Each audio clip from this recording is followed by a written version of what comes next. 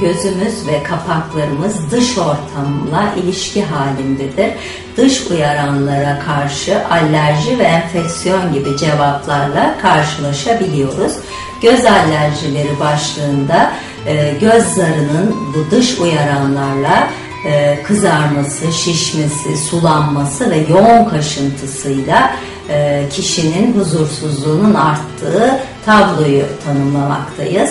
E, kişilerin alerjik yanıtları, vücutlarının alerjik duyarlılıkları yüksek olduğunda dış uyarana cevap sıklığı artmaktadır.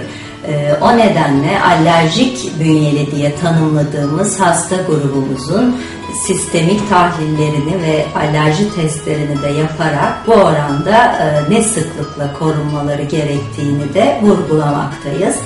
E, göz alerjilerinde tabloya enfeksiyon bir süre sonra enfeksiyonlar da eklenerek durumun daha da ağırlaştığını gözlemlemekteyiz. Özellikle çocuk hastalarımızda elleriyle kaşıdığında mikrop alma oranı çok yüksek ve tabloya göz içi enfeksiyonlar da eşlik etmekte.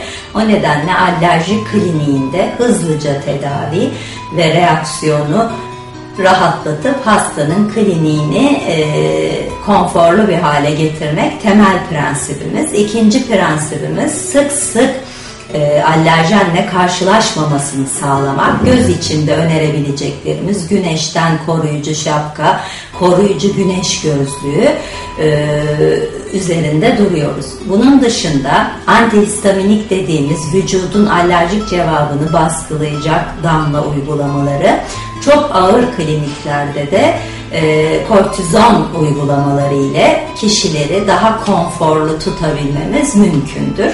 En sıklıkla karşılaştığımız alerjiler mevsimsel polen alerjileri, ev tozu, hayvan tüylerinden oluşan irritasyonlar en sık karşılaştığımız alerji türleridir. E, dev papiller konjonktivitler e, kimyasal lens solüsyonlarının irritasyonu, lenslerin irritasyonu ile çok büyük formlara da dönebiliyor. Göz kapağının altını muayene ile izlediğinizde yoğun büyük papillalar hem kişiyi çok huzursuz ediyor hem de gözün kornea dediğimiz saydam tabakasını sürtünme ile zaman içinde kalıcı görmeyi etkileyen sekeller oluşturması mümkündür.